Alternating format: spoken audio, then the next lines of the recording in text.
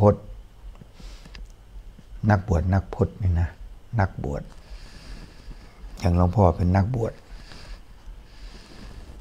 สมณะสารูป นักบวชผู้ประพฤติปฏิบัติธรรม เสียสละ ไม่ไปแข่งใครแล้วทางโลก ไม่ไปแข่งใครแล้ว ไม่ไปแข่งร่ำแข่งรวยกับใครแล้วต้นเสียสละเพื่อ พระธรรมคำสอน เสียสละเพื่อพระศาสนา มีคนให้ข้าวให้น้ำต้องใช้หนี้ไปด้วยนะถ้าไม่ใช้หนี้ก็เป็นหนี้แล้วยุ่งเลยยุ่งเลยใครควรทบทวนเกือบทุกเรื่อง เกิดขึ้นมา ที่มีภาพให้ดูตรงนี้หลาย ๆ คนก็ตายไปแล้ว หลายคนก็ยังมีชีวิตอยู่ แต่แก่แล้ว แก่มากแล้ว เอาไว้ดู ไม่ใช่เอาไว้ดูสำหรับ เอาไว้สำหรับ เห็นทีไรก็ร้องไห้ทุกทีลำลึกนึกถึงที่เคยอยู่ด้วยกัน หนักบ้างเบาบ้าง บางทีไม่ถูกกิเลสแล้วเข้าใจว่าครูอาจารย์ด่าเรา ไม่เข้าใจก็ไม่เข้าใจ ใจไม่ดีพอ ก็ไปเข้าใจว่าพ่อแม่นี่บน่นบ่นเราจู้จี้จุกจิกแล้วเก็บภาพพ่อแม่ไว้ดู ผู้มีพระคุณจริง ๆ นะ แล้วก็หลวงพ่อก็มีเยอะหน่อยพ่อมีพราะว่าคนผู้มีพระคุณมันเยอะเยอะมาก ผู้ให้ความอุปถัมภ์เยอะให้ข่าวให้น้ำให้ปัจจัยทั้งสี่นั่นแหละ ให้ที่อยู่อาศัย ให้หลายสิ่งหลายอย่าง ที่ประคับประคองที่ยืนอยู่ได้ตอนนี้ รวมทั้งยานพาหนะด้วย ยานพาหนะ เวลาไปโน่นไปนี่ก็สะดวก แต่ต้องระวังนะคำว่าสะดวก สะดวกเป็นพิษเป็นภัยนะหลวงพ่อเห็นเขาเขาสำรวจมาแล้วนะ ไม่ใช่ประเมินสำรวจมาแล้ว เขาบอก อันดับหนึ่งของเอเชีย ของเอเชียนะ คนเราประเทศเรานี่แหละคนเราโดนหลอกทางทางออนไลน์มากที่สุด ติดอันดับหนึ่งเลย วันหนึ่ง วันหนึ่ง โดนเข้าไปสองแสน หลวงพ่อจำตัวเลขได้อยู่สองแสนหนึ่งหมื่นเจ็ดพันสี่สิบเจ็ดคน เขาสำรวจมานะข้อความเนี่ยประมาณห้าสิบแปดล้านข้อความ อันนี้เก็บมาเล่าให้ฟังนะ เก็บมาเล่าให้ฟัง ถ้าพูดเรื่องความเสียหาย ประมาณห้าหมื่น สามพันกว่าล้าน ข้อความห้าสิบแปดล้าน ข้อความทางออนไลน์นี่นะ ต้องเข้าใจนะ ที่มิจฉาชีพเนี่ยมิดจอจานนี่นะ ไม่ใช่มิตรตลาดนะ ไม่ใช่มิตรเป็นเพื่อนเป็นมิตรไม่ใช่ ไม่ใช่มิตรสหายนะ มิจฉาชีพนะ แล้วทีนี้ยี่สิบกว่าล้าน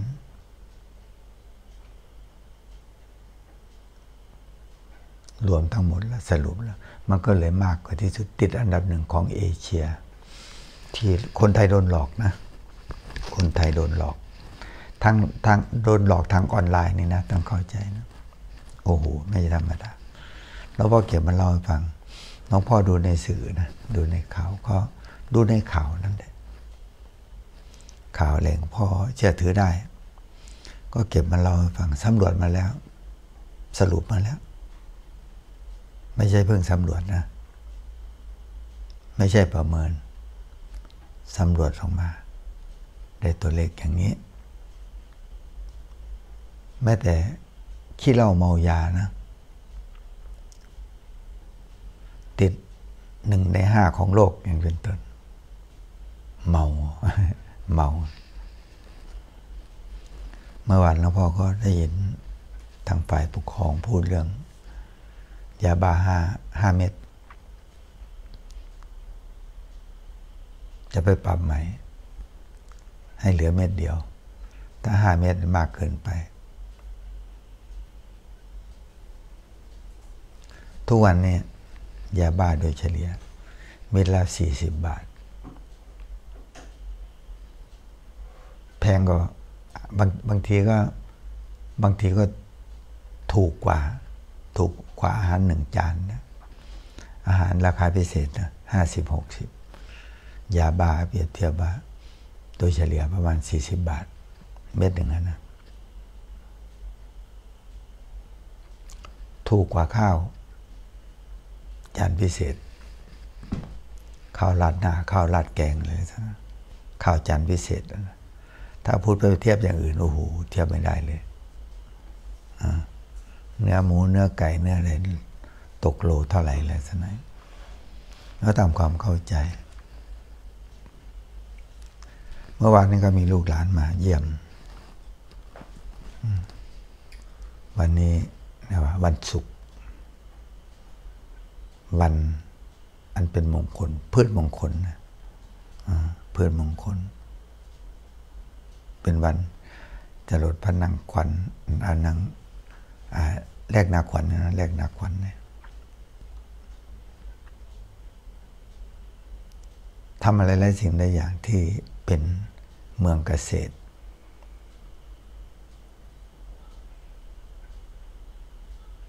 บันจรดพระนังคันเรียกแลกนาขวัญเจ้าฟ้ามากษัตริย์ก็ใจใส่ สถาบันสถาบันเบื้องสูงเข้าใจใส่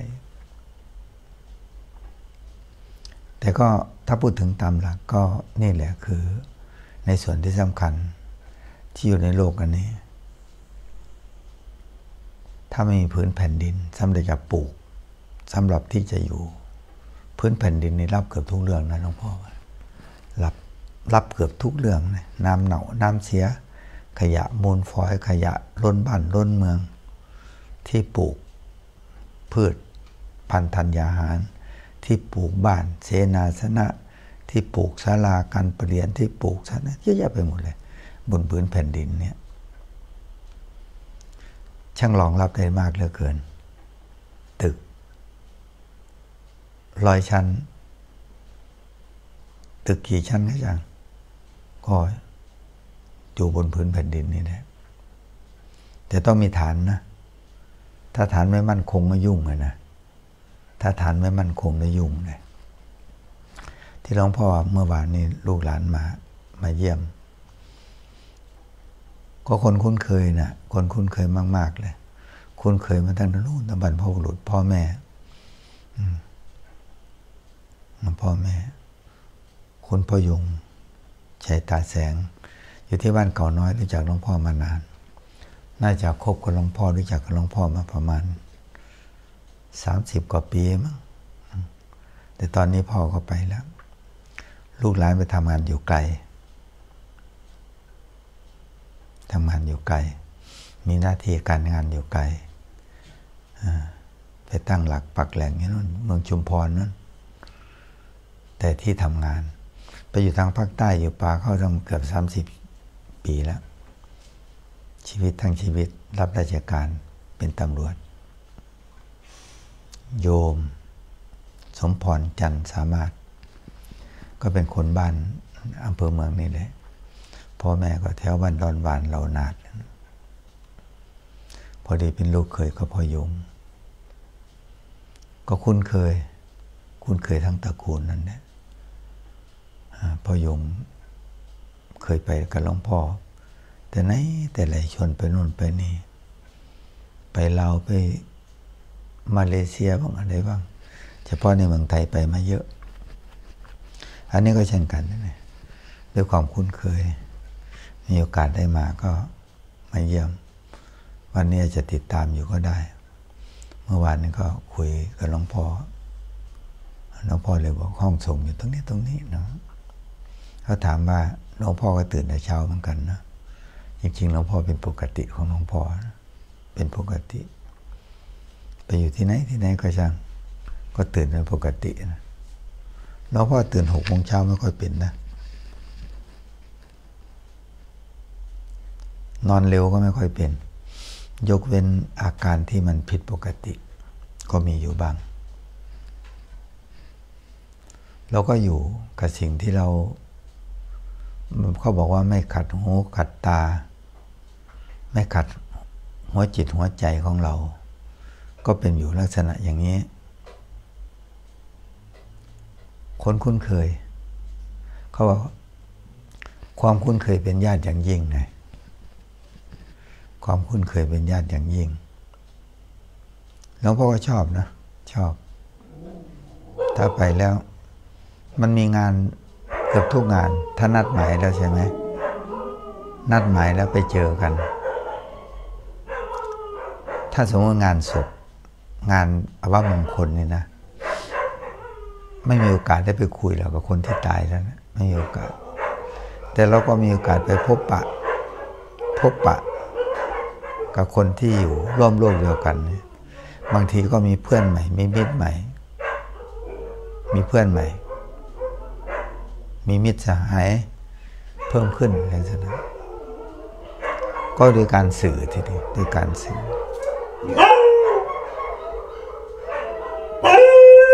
หลวงพ่อหลวงพ่อเคยได้ยินนะพ่อแม่ครูบาอาจารย์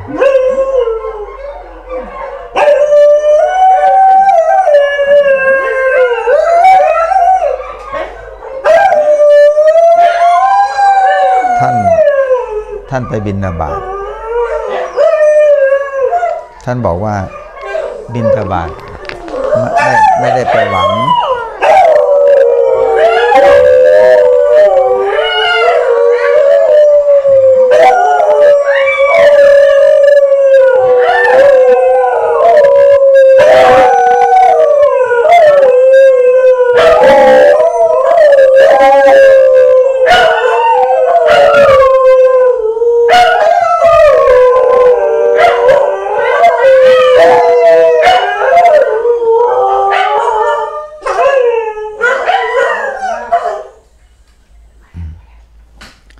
ฟังเสียงเขาไปก่อนนะ เสียงเขาก็น่าฟังนะ ถ้าเราทำใจเป็น ถ้าทำใจไม่เป็นโอ้โหลำคาญ ก็ในโลกอันนี้ เสียงที่ถูกใจเราถึงจะเอา ถ้าเสียงไม่ถูกใจไม่ถูกกิเลสไม่เอาอย่างเป็นต้น เหมือนกับเสียงนินทากับเสียงเสียงสรรเสริญ คนส่วนมากร้อยทั้งร้อยก็ชอบเสียงสรรเสริญยกยอใช่ไหมเสียงที่ไม่น่าฟัง เราก็ฟังได้ทำใจเป็น ถ้าไปงุนหงิดก็เพราะสิ่งเหล่านี้ มันเป็นของคู่กันไงหูคู่กับเสียงไงเรารับได้ทั้งหมด เสียงหมื่นแปดพันล้านเสียงก็ช่าง กี่เสียงก็ช่างเราก็ต้องทำใจให้เป็น ถ้าทำใจไม่เป็นก็ทุก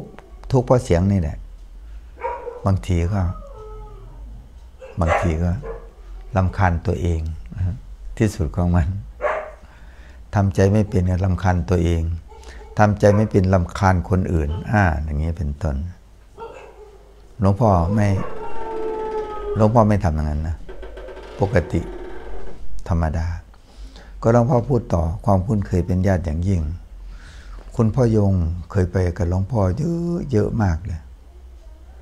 พอหลวงพ่อปูพื้นฐานมาอย่างนี้ บอกจะไม่ไม่มีภารกิจเลย ไม่มีธุระเลย ก็คงไม่ใช่หลวงพ่อเพราะเพราะหลวงพ่อไม่ใช่เป็นพระทำงานก่อสร้าง เมื่อก่อนปลูกต้นไม้แล้วพ่อก็ดูแลอยู่นะ แต่ดูแลแบบความคิดของตัวเอง อาศัยแรงคนอื่น อาศัยแรงคนอื่น สติปัญญาทีนี้ เอามาใช้ เหมือนกับที่หลวงพ่อบอกใช้นี่ไง ของฝากแต่ละชิ้นแต่ละอัน มันมีคุณค่าทางด้านจิตใจ ขณะที่มีคุณค่าทางด้านจิตใจ เรารู้คุณค่าจริงๆไหมนะของฝากเล็กๆน้อยๆนะอย่างที่หลวงพ่อบอกว่า มีมิตรเพิ่มขึ้น มีสหายเพิ่มขึ้น บางคนก็คุ้นเคยแล้วแต่ห่างเหินกันไป ที่หลวงพ่อบอกว่า พ่อแม่ครูบาอาจารย์ ได้ยินจากปากท่านเลยนะ ท่านไปบิณฑบาตไม่ใช่ไปหวังไปหวังเอาเอาข้าว เอาขนม เอากล้วย เอาอ้อยเฉยๆนะ ท่านบอกเป็นบินบาตเอาคน บินบาตเอาคน บางทีที่เขาใช้คำว่าไปโปรดสัตว์ก็ใช่นะ แต่ถ้าของที่มาได้ทุกวันมันมันมากไง มันมากอยู่ ถ้าไป มันมากก็มาเผื่อคนอื่นก็ท่านนั้นเอง อย่างเงี้ยหลวงพ่อถึงชอบไงหลวงพ่อไม่ค่อยชอบ ไม่ไม่ไม่ไม่ชอบขาดบิณฑบาตนะจะไปนั่นแหละเวลาเดินทางก็เช่นกัน จอดรถก็ไปบิณฑบาตมีหลายครั้งเหมือนกัน โยมไม่ในตลาด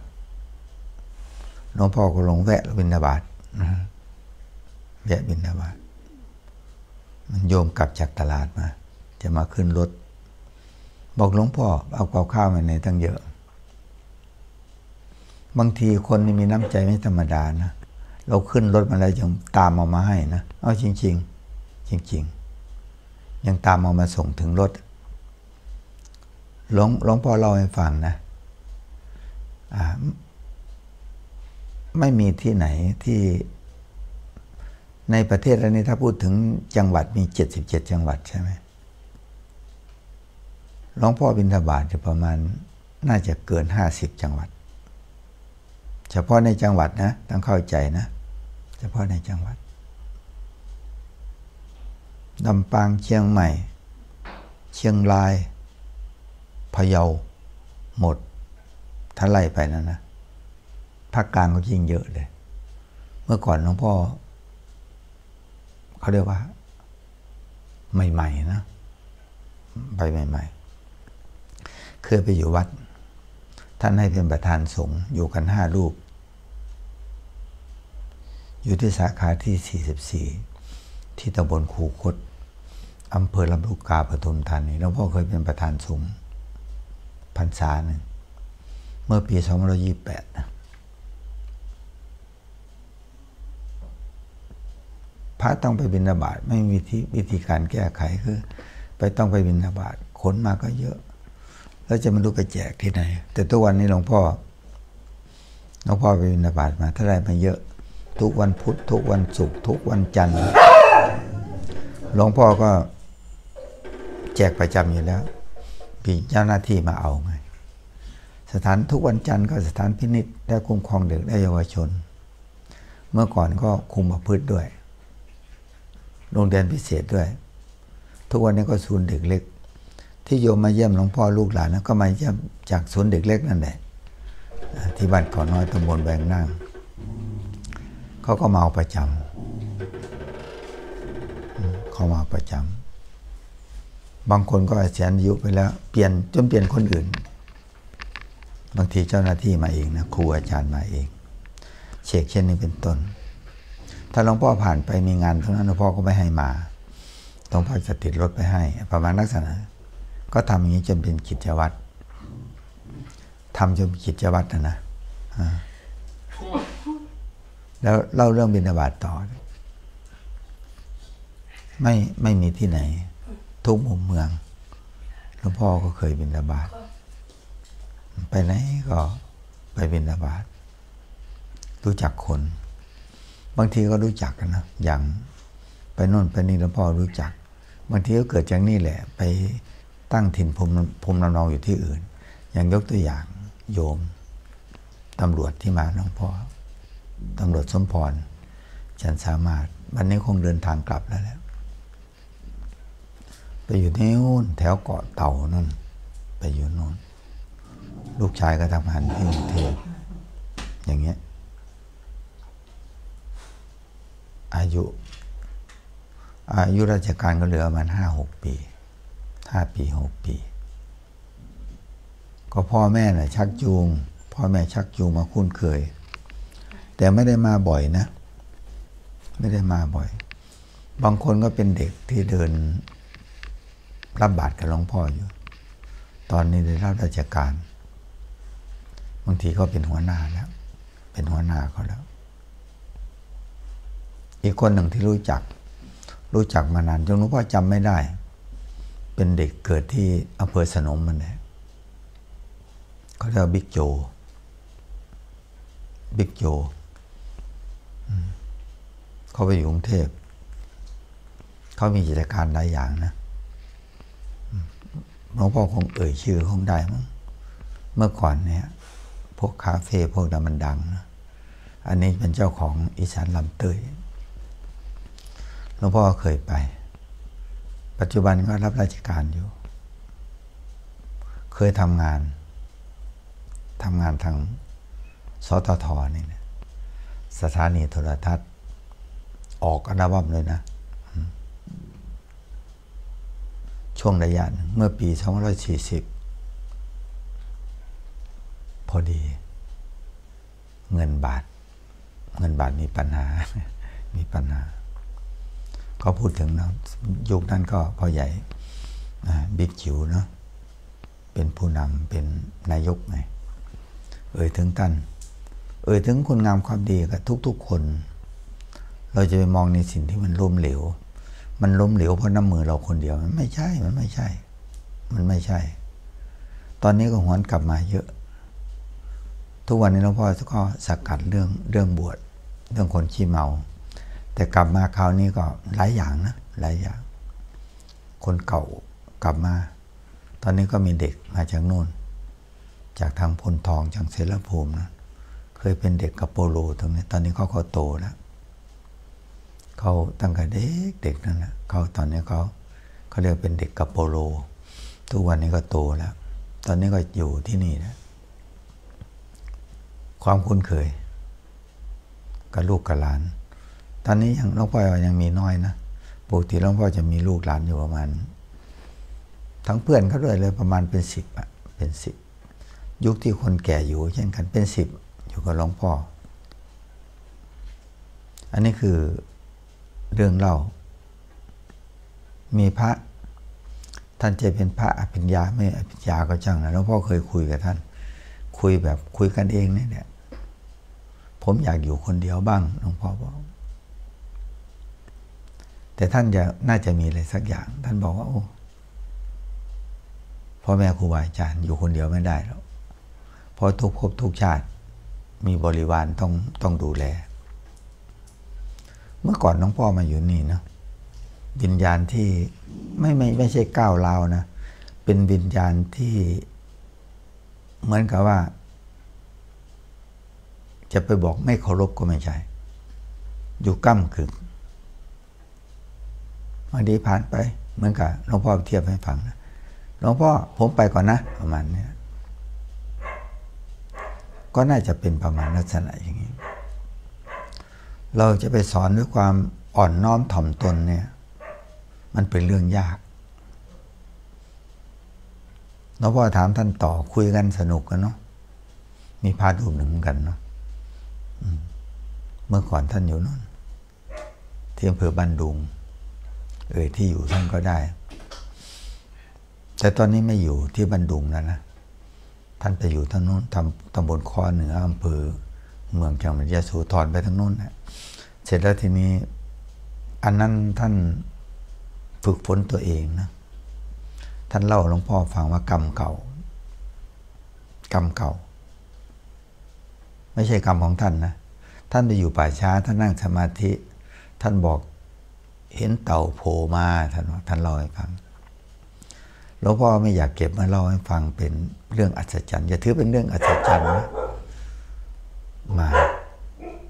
มาขอส่วนบุญมาในลักษณะอย่างเป็นภาพเป็นภาพที่ไม่ใช่ลางสังหรณ์นะถ้าพูดถึงภาษาแง่ก็เป็นนิมิตแล้วเป็นลางสังหรณ์ก้ากึ่ง หรือจะไปบอกว่า ครึ่งหลับครึ่งตื่น บางทีก็คงยืนยันว่าไม่ได้หลับนะแต่ปรากฏการกับสิ่งเหล่านี้ขึ้นมา เก่าเหมือนกับสัมภเวสีวิญญาณเร่ร่อนวิญญาณเร่ร่อน ก็มาขอส่วนบุญมานุ่นมานี่มาสักพักหนึ่งก็หายไป ก็นั่งฉันน้ำอยู่กับท่านนั่นแหละท่านเป็นรุ่นพี่นิดหน่อยก็คุยกันท่านเล่าให้ฟัง แต่มันก็เป็นไปตามอย่างที่ท่านบานั่นนะนะอย่างนี้เป็นต้น ผลลัพธ์ไม่ต้องไปพูดอะไรมากยิ่งกว่านั้นลวงพ่อสัมผัสกับสิ่งเหล่านี้มากับพระที่ท่านเป็นพระอภิญญาเนี่ยอภิญญามันมีหกอย่างใช่ไหมหูทิพตาทิพแต่ทุกวันในโฮทิปเราก็เทียบได้แล้วเนี่ยโทรศัพท์อยู่คนละซีกโลกก็คุยกันได้ ตาทิพก็เหมือนกัน ทีวีข่าวที่ไหนที่ไหน ถ้าดูแล้วเราจำเนี่ยมันก็ได้ประโยชน์นะ เตือนภัยเขาก็เตือนเขาไม่ใช่ไม่เตือน แต่ด้วยความโลภเนี่ยมันถึงได้ติดอันดับอันดับหนึ่งของเอเชียเนี่ยที่โดนหลอกนะอันดับหนึ่งจริงๆนะเมื่อวานเขาขมวดเขารวมมาแล้ว วันหนึ่งโดนเข้าไป โดนเข้าไปสองแสนหนึ่งหมื่นเจ็ดพันสี่สิบเจ็ดคนลายวันหนึ่งหลวงพ่อจำได้เลย เมื่อปีหกหกสำรวจออกมา ห้าสิบแปดล้านสายห้าสิบแปดล้านนะ สรุปว่าปีหกหกโดนมิจฉาชีพโดนที่หลอกที่หลวงนี่นะหลวงพ่อมาเจออีกรายหนึ่งทีนี้ มาเจออยู่ทางเมืองเหนือ ทางเมืองพะเยานั่นเจอบินไฟฟ้าปลอม ถอดแบบได้เป๊ะเลย ถอดแบบได้เป๊ะเลย อืม แต่เล็กกว่ากันนิดหน่อย แล้วเราจะไปสงสัยอะไรนะขนาดแบงค์ปลอมยังมีเนี่ย เกินตลาดเลยใช่ไหม บินไฟฟ้าปลอมมี มีมาแล้ว เขาก็เตือนภัยอยู่นี่แต่บางคนก้มหน้าก้มตาทำมาหากิน มุดอยู่ตามท้องไร่ท้องนาตามไร่ตามสวน ไม่มีโอกาสได้สัมผัสกับสิ่งเหล่านี้ ไม่เคยได้ยิน ไม่รู้ ปิดหมด แต่ความฉลาดเกิดขึ้นไหมล่ะมันไม่เกิดขึ้นเลยดิเออเขาไปหลอกใครทีนี้หลอกคนที่มีความโลภมันนะถ้าคนไม่คนไม่มีเลยไปหลอกแล้จะได้อะไรแต่ก็มันพ่วงกันเหมือนกันนะบางคนบอกเฮ้ยเห็นเขาได้ฮะเห็นเขาได้ เราเก็บหอมรอมริบมาเคาะกระปุกเลยทีนี้ก็เหมือนในช่วงระยะหนึ่ง ลูกหลานนักศึกษาเนี่ย เห็นเขาได้ เงินที่พ่อแม่ที่ เขาบอกว่า ออมเอาไว้ให้ เพื่อการศึกษา บางคนก็พอมีอยู่นะสี่หมื่นห้าหมื่นลงไปหลักพัน เอาได้จริงๆฮะได้ขึ้นมา เข้าไปหลักหมื่นก็ยังได้มาอยู่นะ ยังได้อยู่ ถ้าถึงสี่หมื่นห้าหมื่นเมื่อไหร่ก็จะเอาแล้ว ชักจะไม่โอนให้แล้วยังเป็นต้น อีกคนหนึ่งก็เช่นกันทีนี้หลวงพ่อรู้จักนะรู้จักทั้งครอบครัว เป็นข้าราชการเกษียณแล้วเกษียณทั้งพ่อทั้งแม่ เป็นครูเป็นทหารอะไรด้วยลูกเต้าไปอยู่ภาคตะวันออกนั่นเห็นเพื่อนเขาเรียนแล้วเขาไปลงทุนเขา ได้เยอะ เห็นพ่อแม่จน ก็เลยอยากช่วยพ่อแม่บ้างเขาไม่มีเจตนาร้ายนะลูกนะไม่ต้องการจะล้างผ่านพ่อแม่นะเห็นเขาได้จริง ๆ เขาหลักฐานให้ดู ชวนพ่อแม่ไปลงทุนด้วย ตอนนี้รถหมดเลย บ้านก็หมด บ้านก็หมด ต้องทำอะไรดูไหมต้องต้องต้องผ่อนบ้าน เงินบำเหน็จบำนาญในหมดเลยหมดเลยรถก็หมด บ้านก็ถือว่าหมดนั่นเอง บางทีเขาเขาไล่ออกจากบ้าน พอเขาหยุดแล้วเขาหยุดแล้วไปอาศัย เช่าห้องอยู่ ห้องราคาพันห้าก็มีสามพันก็มีก็แล้วแต่ อย่างนี้เป็นต้น อันนี้ก็เทียบบอกว่าหลักการบริหาร หรือบอกว่าอันนี้คือสว่างมาแต่มืดไป คติทางโลกคติทางธรรมนี่โลกต้องอาศัยธรรมธรรมต้องอาศัยโลกกายต้องอาศัยจิต ถ้าไม่มีจิตอยู่กับร่างแล้วก็จบเหเลยกำลังจะจบก็เยอะ วันนี้ก็ยังมีเลยน้องหมา น้องหมา อยู่กับหลวงพ่อ เขาก็ทิ้งร่างเอาไว้ อย่างนี้เป็นต้น แล้วเสร็จนี้เราต้องทำความเข้าใจนะ ถ้าเราใส่ใจจริงๆวิธีคิดการกระทำก็เช่นกัน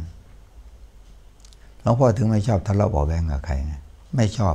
ไม่ชอบมันตั้งแต่เด็กแล้วนะ ไม่ชอบหรือใครชอบ หรือใครชอบคนไม่ดี คนดีชอบไหม ถ้าเกิดชอบคนไม่ดี ไม่ชอบคนตรงไปตรงมาซื่อไม่ชอบความซื่อสัตย์เสร็จเลย เราจะไปคบกับใคร อันนี้เรียกว่าสว่างมาเนี่ยอย่างที่หลวงพ่อเราฟังสว่างมามืดไปเลย แต่คนประเภทที่ว่าสว่างมาสว่างไปนี่มันหาได้เยอะไหมล่ะหรือจะไปบอกว่าพูดอย่างทำอย่าง มันก็ไม่ใช่ บอกว่า พูด ตามสิ่งที่ตัวกระทำตัวทำได้ประมาณเท่านี้ ก็คุยได้แค่นี้บอกได้แค่นี้ ประคับประคองตัวเอง ขอให้มีชีวิตที่สว่างมาสว่างไป แต่อีกประเภททีนี้มืดมา มืดมา สว่างไป ก็ยังใช้ได้อยู่นะ ต้องเข้าใจ แต่ประเภทปทัปรมะทีนี้มืดมาแล้วก็มืดไป จบเลย ทุกวันนี้สิ่งแปลกปลอมมันเยอะ คนก็งมงายเยอะ คนไปพึ่งพากับสิ่งแล้วไม่เรื่องไม่เป็นเรื่อง เยอะ เขาบอกว่าไปบูชาไปที่ฐาน ไปวอนอ้อนวอน ศาสนามันไม่ใช่เรื่องอ้อนวอน ไม่ใช่ไปยกมือประงกประงกขอ อย่างที่หลวงพ่อเทียบให้ฟัง ระหว่างเจ้ามือ ระหว่างเจ้ามือกับคนเล่น คนเล่นก็อยากได้รางวัลที่หนึ่ง อยากได้สามตัว แต่ไม่มีอะไรนะ มีทูบดอกเดียว ไปจุด ไปจุด ขอ ขอสามตัว ขอห้าตัว ขอหกตัว ขอรางวัลที่หนึ่ง แต่คนขายทีเนี้ยมันต้องไว้เจ้ามือ ก็เกือบเปรียบเทียบกับทุกเรื่องนะ เจ้ามือ โอ้โห บนโต๊ะทีนี้ ไม่รู้อะทั้งหมูทั้งไก่ทั้งเป็ดทั้งไก่ทั้งส้มทั้งอะไร เต็มโต๊ะไปหมดเลยหลวงพ่อว่าจะวิ่งไปหาใครเนี่ย ถ้าเราหิวโหยนะเราจะวิ่งไปกินทูบดอกเดียวเหรอเลยไปวิ่งไปกินส้มลูกเดียว จะไปแย่งกันกินที่ไหนครับไปแย่งกันกินใช่ไหมเขาก็ไปนู่นเนี่ยไปทางเจ้ามือ ก็เปรียบเทียบกันมาว่าร้อยช่องพันช่อง ร้อยประตู เรามีโอกาสอยู่ประตูเดียว พันประตูเรามีโอกาสอยู่ ประตูเดียว จะไปเทียบไปแสนล้านแลนล้านประตู มีโอกาสอยู่ช่องเดียว อย่างนี้ยกตัวอย่างเป็นต้น แล้วทีนี้โอกาสมันจะเป็นของเราเฉลยมันก็ไม่ใช่แล้ว แต่เวลาไปขอได้ก็ไปขอได้ บอกดี ไม่รู้ท่านรู้เรื่องหรือเปล่า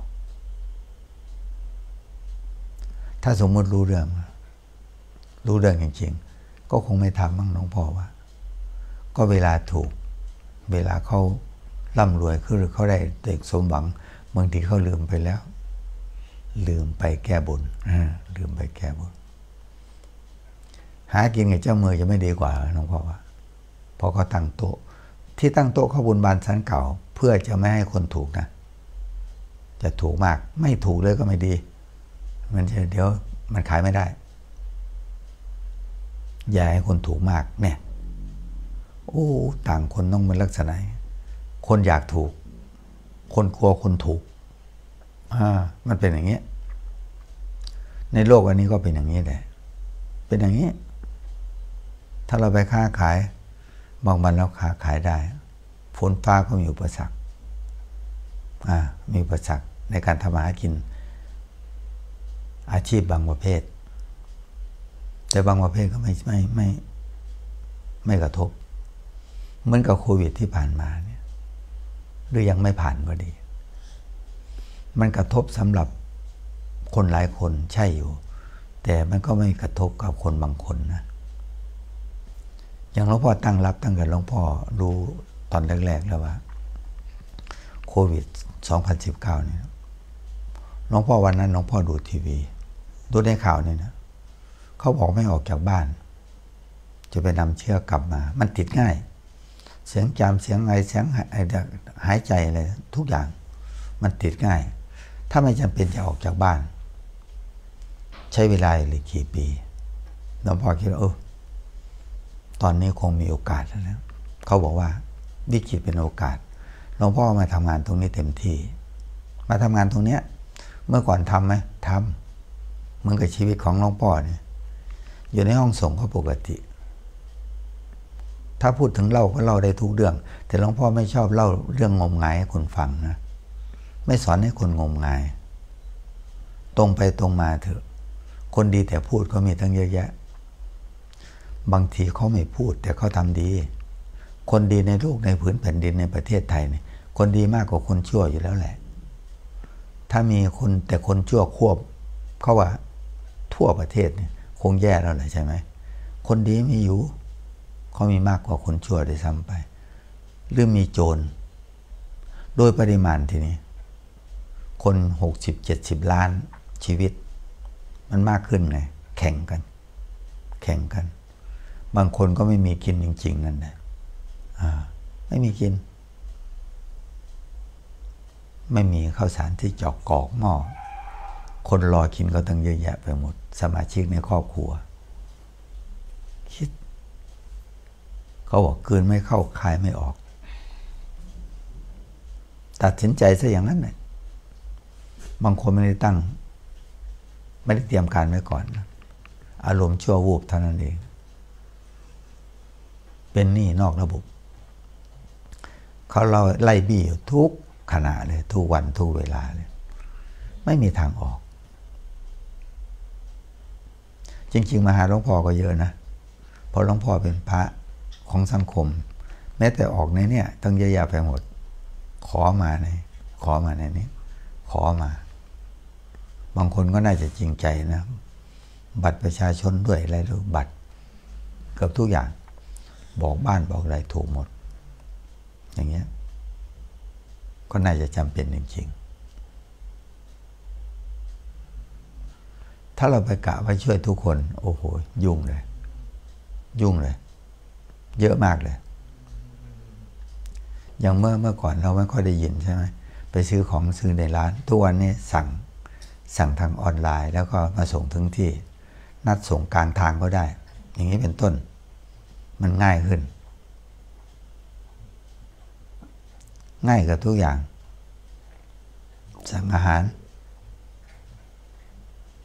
สั่งต่างภาคก็ยังได้เลย สั่งนู่นสั่งนี่สั่งมาส่งเร็วด้วย อะไรลักษณะอย่างหลวงพ่อเคยเห็นทุกวันนี้รถโดยสารก็ยังวิ่งอยู่ได้ เขาส่งของหลวงพ่อศึกษาเรื่องรถเชียงใหม่ไปอุบลรถหนองคายไปเมืองระยองอย่างนี้เป็นต้น อย่างนี้เป็นต้น เอ๊ะคนก็ไม่มากทำให้เขาอยู่ได้ อาศัยฝากของ คืนหนึ่ง ก็ถึงแล้ว วันหนึ่งคืนหนึ่งบางที่บางทีก็ถึงแล้ว ไปรอรับที่ปลายทางมันก็สะดวกนะ บางทีโยมนะ โยมจากนู่นเลยจากเมืองสกล หน้าผลไม้ฝากไว้หลวงพ่อ ก็ฝากรถ ที่เขาวิ่งประจำนี่เนี่ยฝากแป๊บเดียวโทรบอก เขียนเบอร์โทรไว้ในกล่องด้วย เข้าไปรับเข้าไปรับเอา รถถึงเวลาเท่านั้นก็เป๊ะเลยอย่างเป็นต้น ก็เยอะแยะไปหมดเลย อย่างนี้หลวงพ่อว่ายังมานั่งคิดนะบางเรื่องมันประหยัด ทางโทรศัพท์ก็ประหยัดอยู่นะ แต่บางเรื่องต้องไปเอง บางเรื่องต้องไปเอง อย่างเงี้ยก็เหมือนกับว่า ถ้าเรามีชีวิตอยู่ดำรงอยู่ในในพื้นแผ่นดินอันนี้ อยู่ในโลกใบนี้ เรามีมิตรเพิ่มสหายเพิ่มไหมมิตรที่ดีนะ ไม่ใช่มิตรเลวนะ ไม่ใช่มิตรปรึกษาหาหรือไม่ได้ อย่างเงี้ยเราก็ถึงว่าเออเกือบทุกเรื่อง มีตัวตายตัวแทน อย่างเมื่อวานนี้ข้าราชการคนหนึ่งชื่อสมพรเป็นตำรวจหลวงพ่อมาดูห้องส่งให้ดูห้องส่ง บอกหลวงพ่อก็เป็นอย่างนี้เลยก็ชี้ให้ดู ผู้มีพระคุณหลวงพ่อพูดถึงคุณพ่อ ศักดิ์ยามเพชรชมพู ก็เป็นสายงานเดียวกันคนคนใกล้กัน ศักดิ์สยามเพชรชมพูก็รู้จักพ่อ พ่อของตำรวจสามารถอาจารย์ตำรวจสมพรจันสามารถเนี่ยวันนี้คงจะติดตามพระอาจารย์อยู่บางทีติดตามย้อนหลังว่าอาจารย์เขาพูดถึง คิดถึง คิดถึงทุกคนที่ควรคิดถึง คิดถึงแล้วทีนี้คนที่เรารักเราคิดถึงอะถึงเวลาพัดภาคจากไปเราทำใจยังไง ถ้าเราไม่มีธรรมะนี่ยุ่งเลยนะ ถ้าเราไม่เข้าใจความจริงไม่ยอมรับความจริง ยุ่งเหยิงเลย แย่เลย อย่างนี้เป็นต้น วันนี้หลวงพ่อบอกฝากเนี่ยนะ วันนี้วันศุกร์พรุ่งนี้วันเสาร์ตีห้าถึงหกโมงเช้าอยู่ที่คลื่น FM 97เมกะเฮิรตหกโมงเช้าถึงเจ็ดโมงเช้าที่คลื่น FM ของชาวของเทศบาล เมืองมหาสารคามหกโมงเช้าถึงเจ็ดโมงเช้ามีเสาร์อาทิตย์คลื่น FM ร้อยหนึ่งศูนย์ศูนย์นี่นะเมกะเฮิรต แล้วก็สิบเอ็ดโมงเช้า ชื่อรายการพินิจรักพิทักษ์ด้วยใจ ขององค์กรของสถานพินิจและคุ้มครองเด็กและเยาวชนหลวงพ่อทำหน้าที่ตรงนี้มาหลายหลายปีแล้ว ที่ขึ้นสวทมหาสารคาม FM ร้อยหกจุดห้าเมกะเฮิรตสิบเอ็ดโมงเช้าถึงเที่ยงหลวงพ่อบอกฝากนะนะ ติดตาม แต่ทางทางทาง ทางเฟซทางเนี้ยทาง YouTube ทางนี้ก็ติดตามหลวงพ่อได้ อาจจะย้อนหลังก็ได้ วันนี้ตำรวจชุมพรเขาคงเดินทางกลับเมืองชุมพรแต่อยู่ที่ทำงานนู่นอยู่ทางเกาะเต่าเกาะนู่น อยู่ทางแถบนู่นที่ทำงาน อันนี้ก็เช่นกันน้องพ่อบอกฝากกับตัวเรื่องนะทำคุณงามความดี ซื่อสัตย์ตรงไปตรงมา มันควรได้มันถึงจะได้ ไม่ควรได้ก็จะไปจะไปใฝ่พันจะไปไขว่คว้าเลยหลวงพ่อไม่แข่งใครนะ ถ้าหลวงพ่อแข่งเขาแข่งทำคุณงามความดี ไม่ความชั่วผุดโผล่ขึ้นมาเท่านั้นเองความชั่วฆ่ามันทิ้ง ความเร็วทั้งหลายฆ่ามันทิ้งฆ่าความชั่วไม่บาปนะหลวงพ่อลาไปก่อน สาธุ สาธุ สาธุ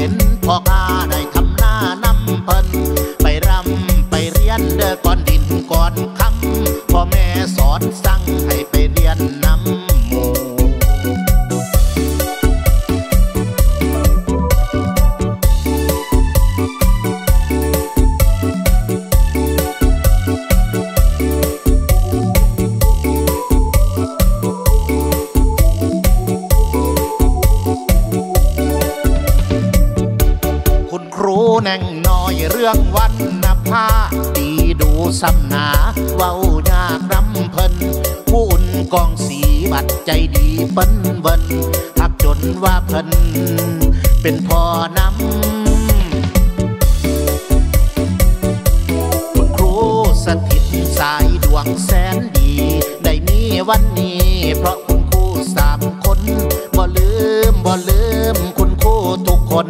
ถึงเวลาผ่านพ้นก็วนคิดถึงครู